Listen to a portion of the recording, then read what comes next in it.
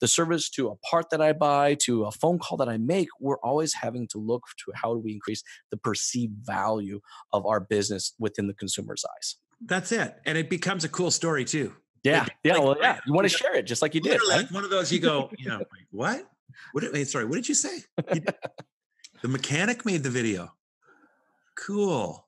Okay, now listen to this. We sort of talked about what is the experience economy. Yes. We talked a little bit about why, why the experience economy, which is the idea that, like, you know, because that's where people find value now. In in and what the heck is an experience? I said it's not service. So think of it this way. If you've ever been a guest of a business and you've said, um, wow, like positively, wow, I am never going to forget this. Yep. You've had an experience. If you've ever been a guest of a business and said, I'll never be the same again, you've had a transformation. Oh, that's a good point. Porsche trip I'm going on, that, my friend, literally, you know what's crazy? Rather than buy a Porsche, I'll end up doing like 10 of those trips. Yeah. Like, seriously. But what? But it's also a guided transformation. Walking, yeah, you're going to be a walking billboard for the brand. Oh, yeah.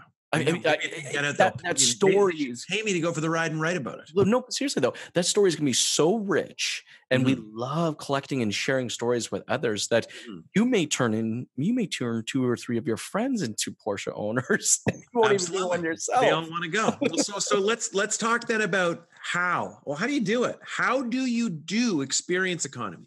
I own a dealership, or maybe I'm a buddy that owns. No, I, I don't. I'm a mechanic. I'm go. a friend of a dealership owner. He sends me all kinds of work. I, I'm I'm Jim's mechanic on Main Street, anywhere USA. Great. Anybody listening doesn't matter. I'm not even in the automotive business. I ride the bus and I'm a florist. Well, it doesn't matter. Welcome to the podcast. You can learn something today. no kidding. So here's how experience works. What is it?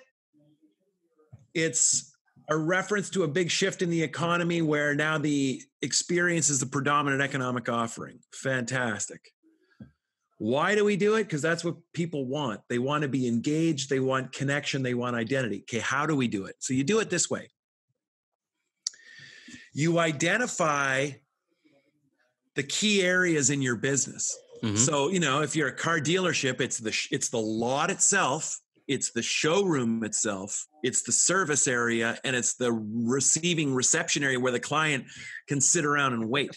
Yep. And what you're asking yourself, so understand this. The experience has nothing to do with the product. We covered a bunch of great topics today. What stood out most to you? Be sure to let us know in the comments section below. And don't forget to like the post and share it to keep the conversation going. You can follow Jason on all social media platforms by following Strategy with Jason. You can find him pretty well everywhere you can share content. I hope we were able to get you thinking. And until the next time, this has been Nathan with Digital Dealership Solutions. Have a great day.